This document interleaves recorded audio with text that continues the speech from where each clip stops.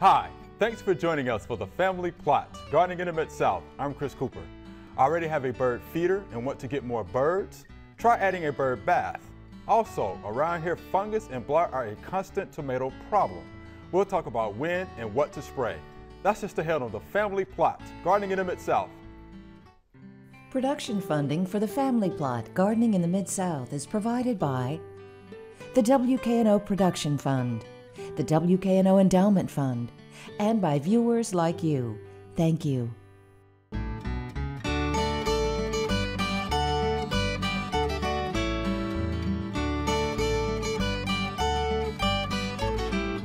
Welcome to the Family Plot. I'm Chris Cooper.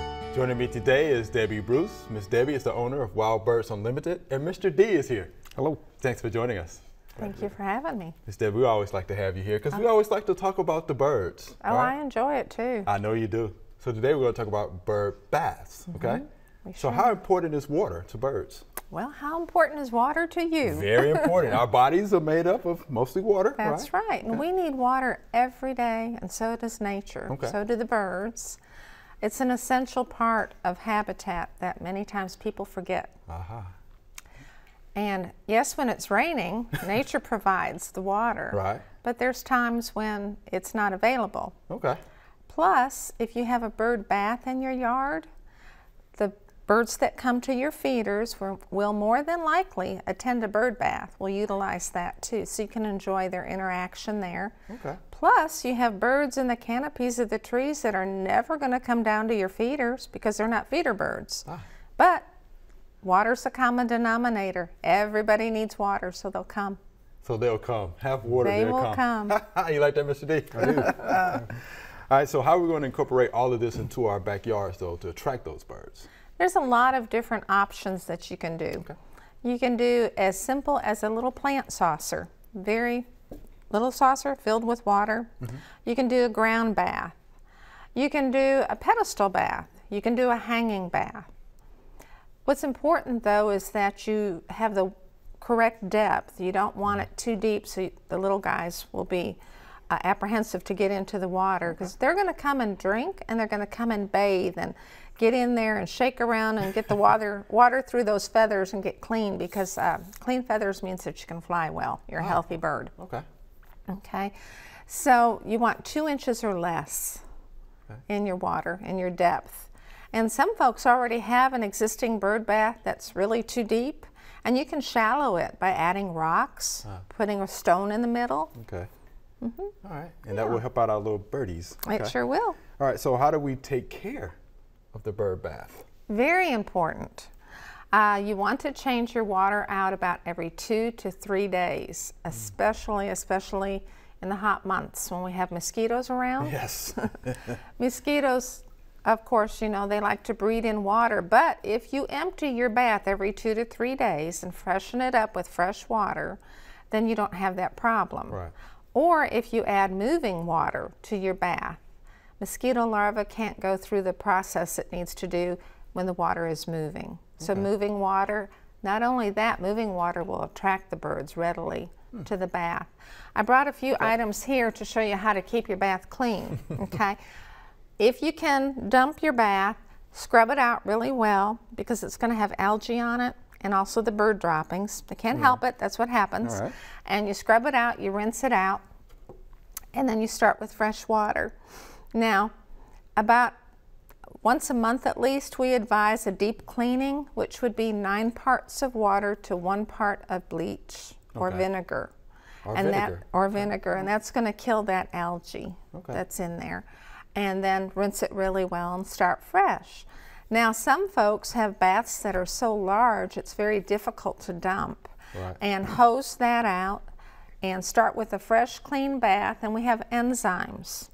These are natural enzymes that eat the gunk in the bath. Okay. They need to be added with every time you put fresh water in. Okay. Now, how And much they- would you add? I guess the. uh, it says on the back. Okay. Uh, just a capful for one to five gallons, so this will last you a good long time, and it's safe for wildlife. Okay. We wouldn't have anything in there that would harm them. This is a bird bath protector. This is a, a fountain protector. It's the same enzymes, but this one has a defoamer in it, so your bird fountain doesn't look like it's covered with bubbles. Ah. Would be good. Yeah. Okay.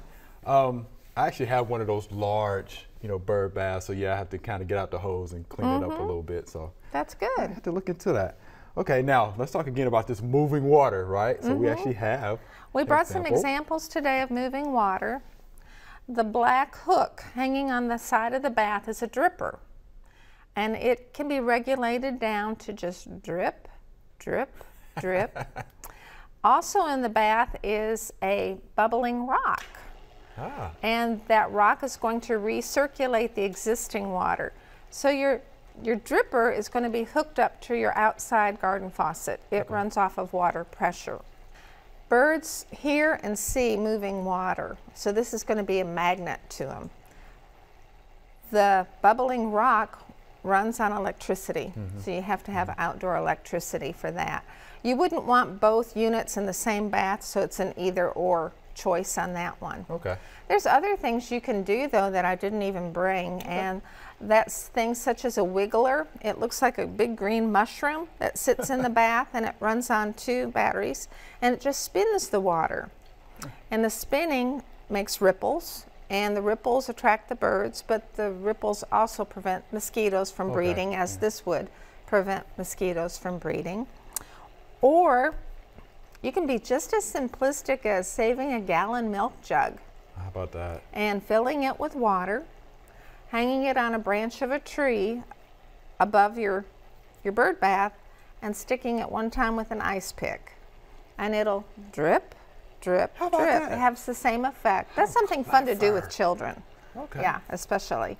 Now, in the wintertime, water is Oh. extremely important. We drink water all Sure, year long, sure. so do birds. They have to bathe all year long, just as we do. But in the wintertime, when your water is frozen, or if it's the weatherman says we're going to get freezing water, put in an electric deicer. It's a unit that does run off of electricity, but it prevents your water from freezing over. And when you have the only open spot of water in the area, birds are just going to flock to it. It's there. fun. it is fun. Let me ask you this: Can the water get too hot for the birds, though? No, good question. Sometimes folks will think, oh, it's like a hot tub. it, it's thermostatically controlled. Your deicer is. Okay. It kicks on, I believe, when your water temperature or your outside temperature goes below 40, Okay. but it will not allow the water to heat up. Okay. So it'll be fine. It's Okay. regulated. How about that? So no spa for the birds. huh? Right. Now let's talk a little bit about again those mosquitoes. So you can actually purchase those mosquito dunks. Yes. Right. I mean those would be good to use in there as correct. well. It contains BT, uh, and it's safe for the birds and you know the other. Pests and things like that. Uh-huh. Pets. Even says on the package that it's safe. Okay. Oh, that's good stuff. Yes. You have a bird bath, Mr. D? I do not. But uh, I might get one. I'm thinking about it. you thinking about it? Mm-hmm. I think he likes the of- bubbler. I think we, we have the feeders. We have a, a lot of bird feeders Sure. and hummingbird feeders, and uh, Mm-hmm. but we don't have a way. Of, we don't have any water for them.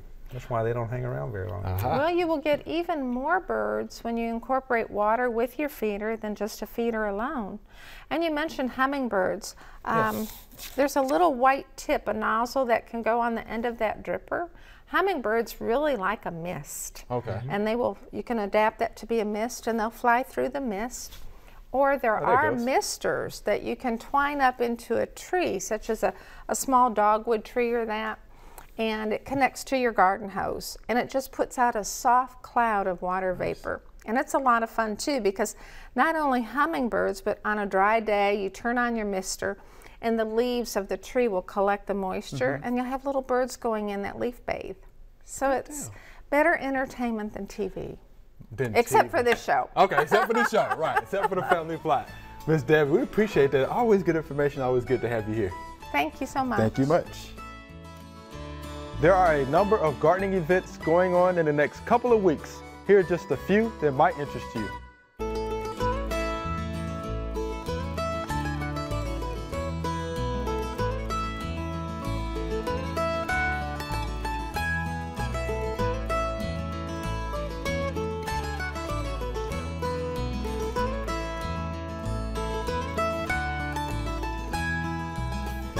Hi, Mr. D.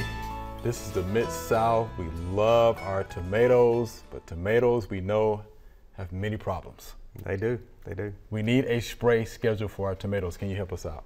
I can. I can. I mean, uh, the UT and the Red Book Mm-hmm. can also help you out. Uh, the most common problem on, on tomatoes uh, in our high humidity environment is, is uh, blight. Yes. And uh, late blight is uh, the number one Mm-hmm. disease problem on tomatoes in our area. And it occurs early in the Yeah, it comes I- early, Yeah, yeah. I don't know why they call it late blight.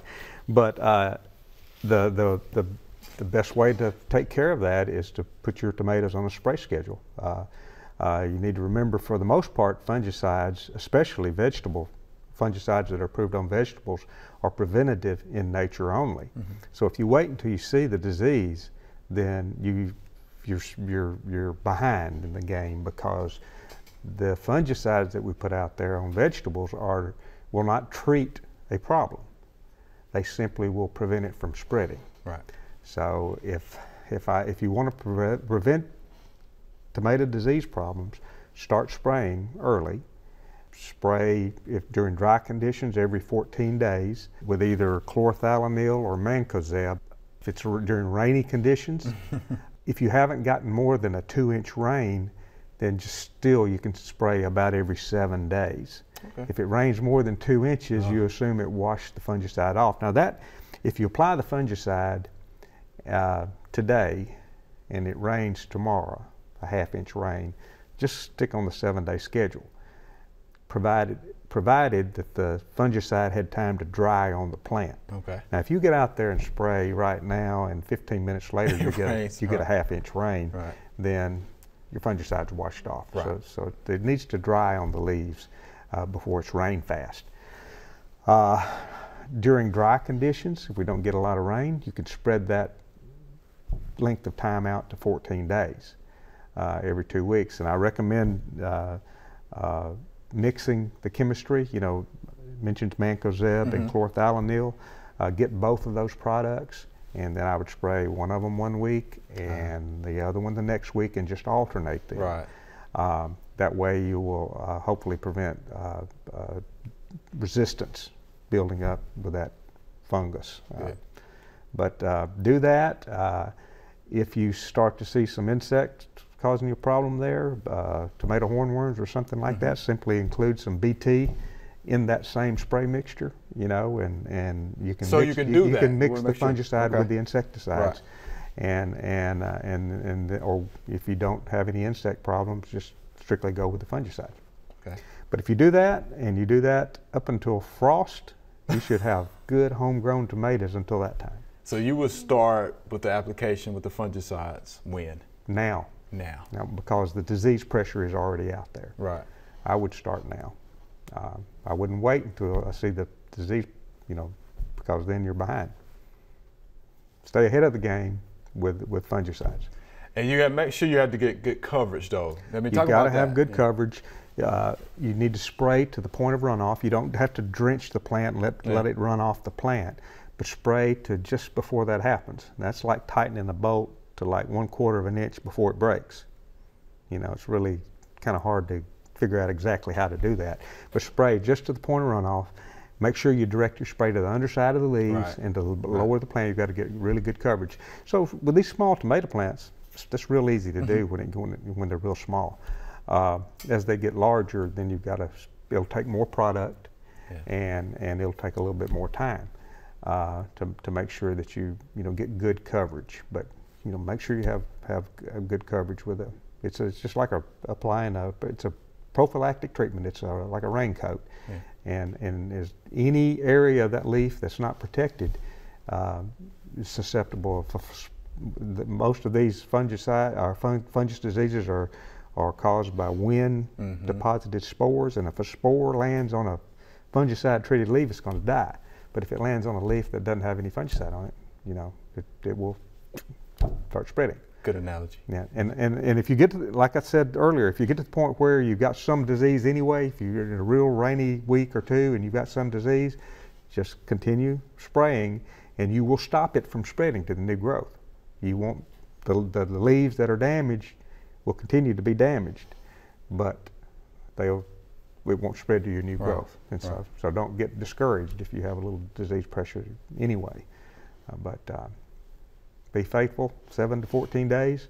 Uh, Mancozeb, chlorothalonil, a combination of those, and uh, follow label Yeah, directions. follow Always label. follow label directions. Uh, wash your tomatoes real good Yes. when you you know before you eat them. Yes. When is the best time to spray the fungicide? Because I'm sure somebody's thinking about that.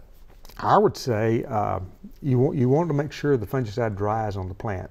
So probably the worst time to spray would be late in the afternoon, Yeah. right before sundown, right at dark, Right. or at night, because that plant will stay wet longer, and fungal diseases like wet conditions. Right.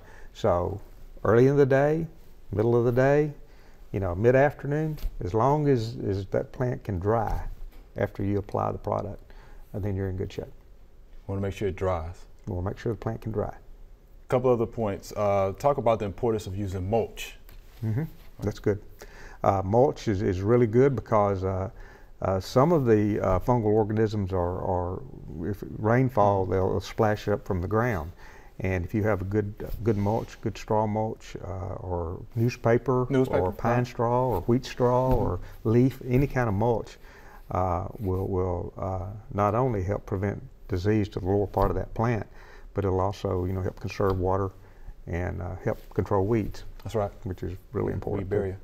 Mr. D, that's good stuff. Also, staking the plant, Ah. getting it up, Getting it off the ground. uh, right. will is, is you know any way you can get air movement right. so that will help the plant dry is also Right. good too. Right. And we talked about that earlier, Miss Debbi. We sure Air did. circulation is very important to get those leaves to dry off. That's right. Mr. D, we appreciate that. It's Good deal. All right.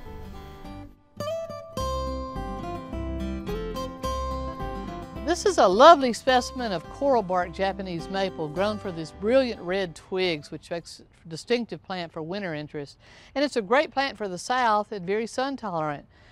Um, it was planted a little bit high, which is good for a Japanese maple, but this heavy staking can be an issue. And let's talk about the fact that often when you have a plant with a large canopy, you're going to need to stake it for blowing over. There's a few options though.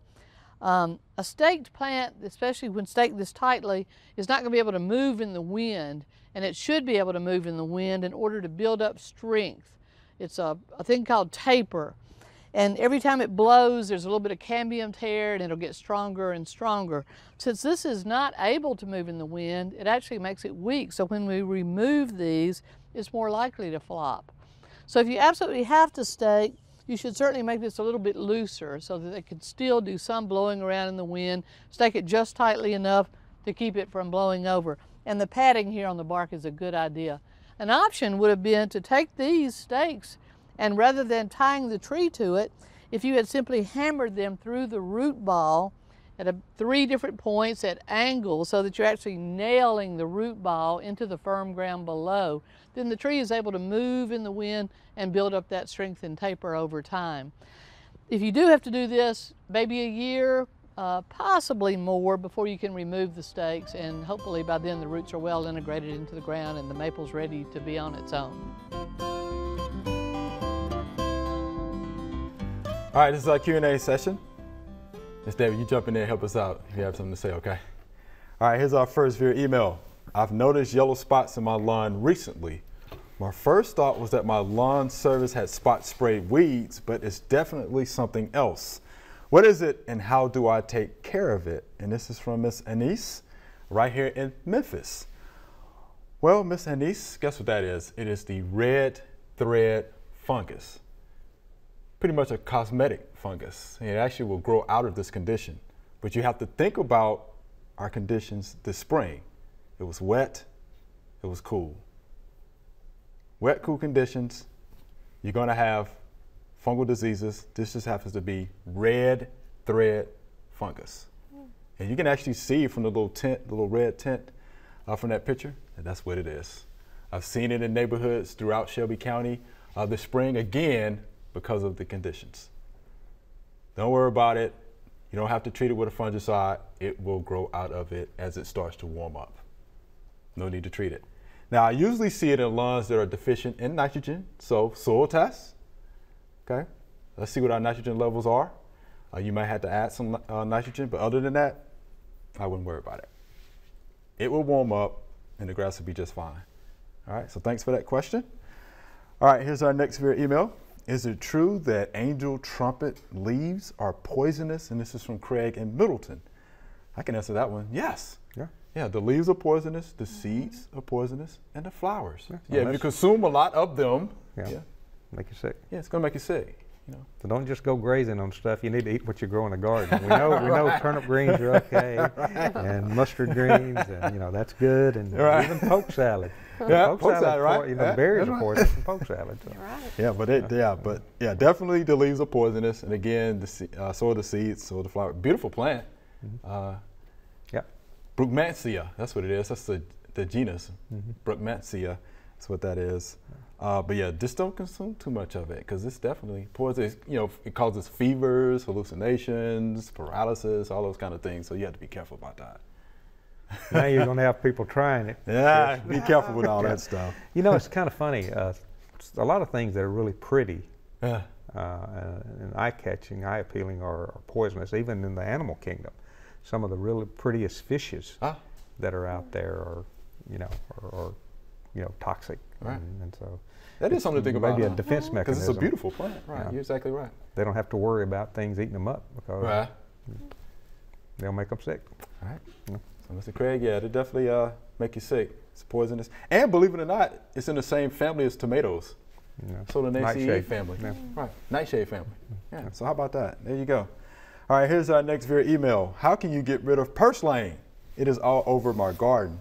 And this is from Rose in Stanton, Tennessee. You know about purslane, don't you, Mr. D? Oh yeah. Yeah. Succulent leaves, right? Produces by seeds, root fragments. Do you know about purslane, Miss I just Debbi? pulled up a bunch of it. Here we go. And you, bet- you better make sure you get all of it because the seeds can actually survive in the ground for 40 years. Oh my goodness. Be careful. Survival, folks. Yeah. Yeah, that's what that is. So, how do we control that? And speaking of control, I know one means of control they're edible. The leaves are actually edible. So they're not toxic. Really? So eat them. You can eat them. Are they good? Eh, it tastes pretty good. They're succulent. Especially if you have a big chunk of bacon in there. And you have something like that, it tastes better, right? yeah. so, yeah, we know that they're edible, but how else can we uh, control them? in a vegetable garden, you know, you you got your hoe, you know, Yeah. good old cultivation. Uh-huh. Well, you know, run your wheat, uh, your, your uh, cultivator if you've got one. Um, but uh, I know there aren't many pre-emergent herbicides or post-emergent herbicides that you could spray in the garden Mm-mm, that uh, in the would- garden. would- that, that all your vegetables wouldn't be affected. You know, Treflan has some activity on it, and it's cleared for use for some garden It is for vegetables, but not all of them. Right. But uh, I'd probably stick with mechanical and you know, using a hoe and cultivator to in my garden. In your yard, Yeah, it's a different story. it's a totally Right. different story. Different story. You can use pre- several pre-emergent products and post-emergent products Sure to take it out. Yeah. Dithiopyr, you know, pendimethalin in your lawn. mm -hmm. You yeah, know, for pre and pre-emergent. post, anything that contain, uh, contains what, 2,4-D, dicamba, Right. you know, that kind of stuff. Of course, that'll also wipe your garden out. Yeah, that will wipe your garden out. Yeah. Yeah. you can do that in the lawn setting, but not in your garden. So, Yeah. Garden hoe, Miss Rose, garden hoe, that will help you out. Mm-hmm. All right, here's our next via email. I had a soil test done on my garden, but the results didn't come back until everything started to come up. Can I follow the recommendations of a late soil test now or wait until after the growing season? And this is from Mike. It is actually a good question. It is. It is. And the Good answer is yes. Yeah, Go on and yeah. follow it. You know, you go and put the fertilizer out. You may not be able to, you, you, as you broadcast it, you don't want to get it on the leaves of the plants if you can help it. But uh, go ahead and put the fertilizer out now. It's still early. It's still plenty early. Right. And uh, uh, I mean, and that soil test will, you can follow that for three years. Yeah, three years, right. You know, the only time that you probably don't want to apply fertilizer is late in the year, just before frost, to a perennial. Yeah. You know, because you don't want a flush of new growth to occur right before a freeze. Right. Uh, but so yeah, anytime, and, and a lot of the uh, soil test recommendations will talk about side dressing anyway. But but if you, if you have a complete fertilizer that's recommended, you know NP and K, I'd go in and put that out now, and you'll be okay. And then go follow it up with the with the side dress if that's recommended. Right. And it'd be good to know what he tested the soil for. You know, if he was trying to grow a garden or lawn or anything like that. But he did say on my garden. On my so garden, yeah. It sounds like I'm yeah. assuming So it might be a it's vegetable garden. or something like that. Maybe. I don't Right. know. Ornamentals. I don't Yeah. know. yeah, I'd go on and start. But I would. I, I would go ahead and follow it because it's good for three years. Right. Yeah. Yeah. So I will do that. So there you have it, Mike. So Miss Debbi, Mr. D, we're out of time. That's fine. Thank you. Thank you. Remember, we love to hear from you. Send us an email or letter. The email address is familyplot at wkno.org and the mailing address is Family Plot 7151 Cherry Farms Road, Cordova, Tennessee 38016. Or you can go online to familyplotgarden.com. That's all we have time for today. Thanks for joining us. Want to see how to apply that fungicide Mike was talking about or fertilize your garden? Head on over to familyplotgarden.com. We have hundreds of gardening videos to show you what to do and how to do it.